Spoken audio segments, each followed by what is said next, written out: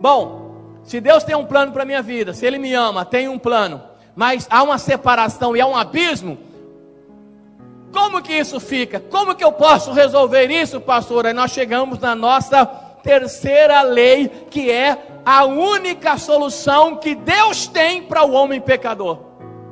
Só existe uma solução, não existe duas, não existe três, não existe quatro. Não é religião, não é filosofia, não é uma vida cheia de obras boas, uma conduta reta, não é ter caráter.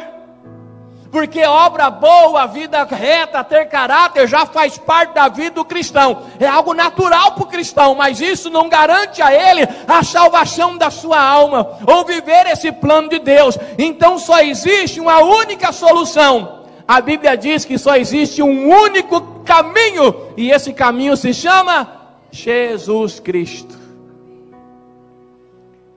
Irmãos, às vezes nós falamos aí fora alguns ditados que a gente ouve, né? E alguns são carregados de mentira e a gente vai falando. Então toma cuidado com alguns ditados. Talvez você já disse por aí, ah, não é possível quando chega mais problema, né? Quanto mais eu oro, mais assombração aparece. Eu gosto desse ditado, eu só mudo ele. Quanto mais eu oro, mais bênção aparece. Quem tem boca, vai a Roma. Nós mudamos. Quem tem boca, profetiza. A gente vai mudando. Agora tem alguns que a gente sem querer sai falando por aí, e um deles é esse: todos os caminhos levam a Deus. Mentira do inferno. Só existe um caminho que leva a Deus, e o próprio Senhor Jesus, na epístola, de, ou melhor, no Evangelho de João, capítulo 14, versículo 6, ele disse: Eu, Jesus, eu sou o caminho. Irmãos, o artigo o caminho define. Ele não disse eu sou um caminho. Se ele dissesse eu sou um caminho, poderia ter outros caminhos. Mas ele disse eu sou o caminho, a verdade e a vida. Ah, pastor, eu não entendi muito bem. Ele ainda coloca assim, ó, e ninguém Ninguém vem ao Pai se não for por mim. Então Jesus é o único caminho que liga o homem a Deus.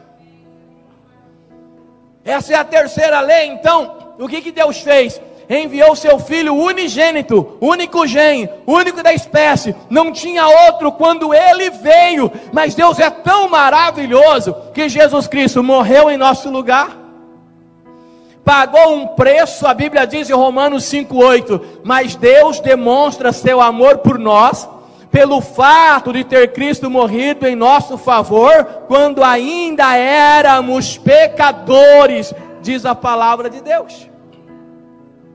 Ele morreu por nós. E é interessante e importante nós entendermos que quando ele morreu, ele pagou o preço que nós devíamos por causa dos nossos pecados, herdado de Adão e as consequências e aquilo que nós começamos a fazer de errado. Irmãos, cada pecado é uma dívida que a pessoa tem com o diabo. E a Bíblia diz em Gálatas que Jesus Cristo, na cruz do Calvário, ele pagou todo o escrito de dívida que era contra nós. Eu não devo mais nada para o diabo. Quem deve, levanta a mão. Olha, os irmãos estão prestando atenção. Nessa hora sempre tem um desavisado cochilando, fazendo, assim: oh glória. Então Jesus Cristo é o único caminho, o único caminho que liga o homem a Deus. Deus, lá em cima, vamos colocar assim: Deus, e lá embaixo o homem no pecado. Aí veio Jesus Cristo e colocou a cruz nesse abismo, ligando você a Deus novamente. A única coisa que liga você a Deus é a cruz do Calvário, que está vazia.